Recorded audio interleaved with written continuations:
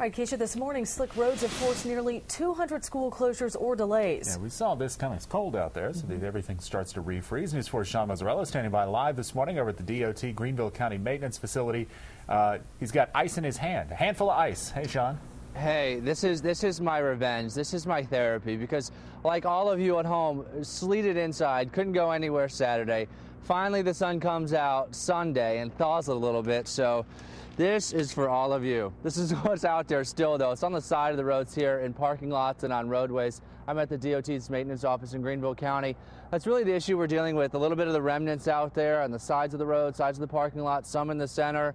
Uh, but that's the real concern is that black ice because some of that moisture stayed on the pavement. It might have refrozen because we're still well below freezing. So because of all that, some local school districts have decided to delay or close. Let's go to those lists right now. Uh, Cherokee County and Greenville County school districts, they have made the call to close today. And then some other schools are just delaying the start of school. Those are Spartanburg, Pickens, and Oconee counties. They're on a two-hour delay this morning.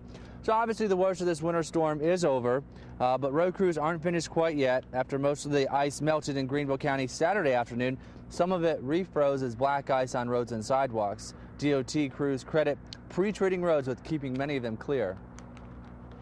The ones that are in perfect, immaculate condition are the ones we pre-treated, but you know, the pre-treat the entire you know, county would be impossible for us to do.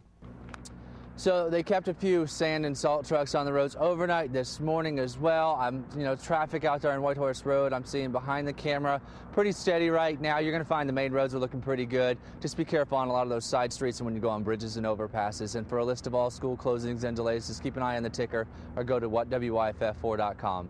I'm Sean Muserallo, WYFF News 4 Today, live in Greenville County.